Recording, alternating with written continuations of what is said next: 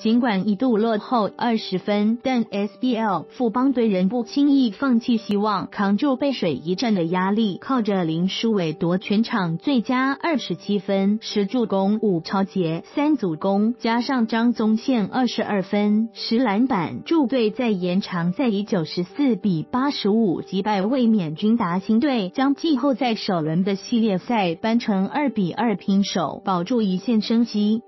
张宗宪又托中华篮球协会提供分享。富邦总教练许敬哲表示，上半场防守很差，让达兴得五十分，加上团队进攻投不进，导致分数差距被扩大。但下半场球员进攻有投进，防守也有守住，是很大的关键。因为要赢达兴，就要投得进，因此投得进跟投不进是赢球的关键。张宗宪表示，上半场被对方的三分球投傻了，所以下半场改变策略，与其让对手两分两分地拿，也别让对方拿三分，并把握快攻机会得分。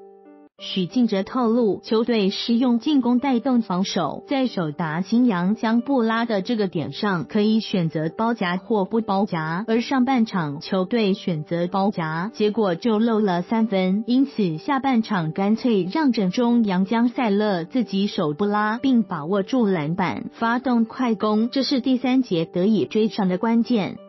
另外，许敬哲也在中场休息时提醒球员要把球投进，如果没办法一节追平，就花两节追平。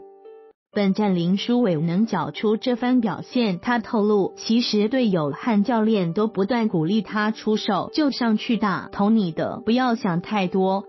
最终，林书伟不负众望，率队上演逆袭。他表示，只是想办法打快，因为富邦是一支打快的球队，只想着专注于场上，积极带动球队。林书伟又托中华篮球协会提供分享。